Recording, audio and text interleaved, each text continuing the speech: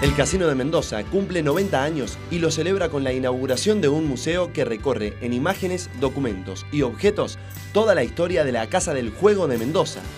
Entre los atractivos más importantes se resalta una ruleta traída desde Francia, fabricada en 1897. Hemos querido traer eh, parte de la historia del casino con este museo. Es una muestra eh, así inédita donde estamos presentando más o menos unas 60 piezas, entre las cuales eh, eh, se pueden contar fotografías, eh,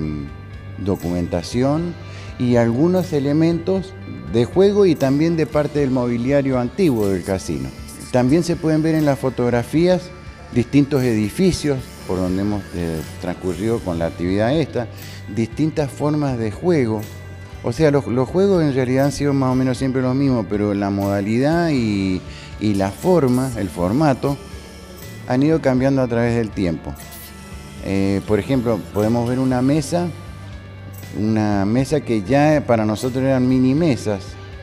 porque antiguamente se utilizaban unas mesas con doble paño y un solo cilindro, unas mesas bien grandes, con números grandes, y después se transformó en la, en mini mesa, que es una de las fotografías que está ahí, con tres queridos compañeros que ya no están con nosotros.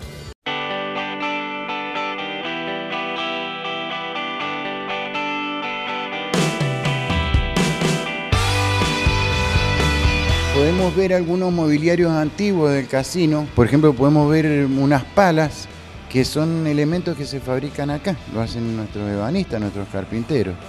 que es un trabajo manual muy fino, porque la pala tiene que tener un equilibrio, tiene que tener un peso determinado y tiene que tener la suavidad y, la concavidad justa para trabajar rápido, fácil y bueno, eso se hace a mano y, yo diría que a mí me parece que cada casino se acostumbra a trabajar de una forma con este tipo de, de elementos. Pensamos darle este lugar un carácter de dinámico, es decir, vamos a tratar de incorporar permanentemente nuevas cosas, de modo que los visitantes van a poder eh, ver cosas nuevas de interés que siempre les va a resultar bien venir a ver.